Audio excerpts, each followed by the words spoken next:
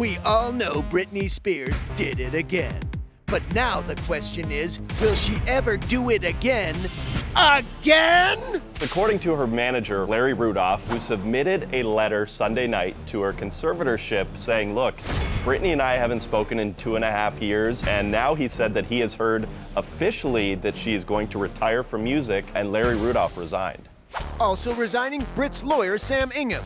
Yup, Brit just dropped a new song, her swan song. You guys, she hasn't wanted to be on stage or do new music for such a long time. Like any Britney fan knows this. I've never seen Britney live. This would be very heartbreaking. Can we say live in air quotes? Just yeah. Hey, her body was there. It's just her voice that may have been doing a remote. But there's still hope for those fans who want to get hit one more time. Do you think this is just sort of like a poker face? Like, I'm really gonna retire if you don't let me out of this conservatorship.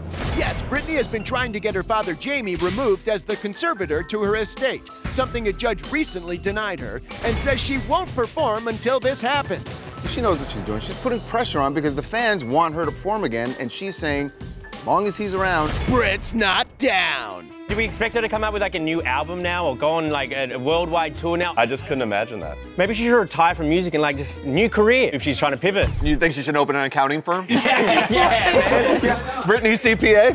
Hey, if Kim Kardashian can be a lawyer, uh, stick to what you know, Brit.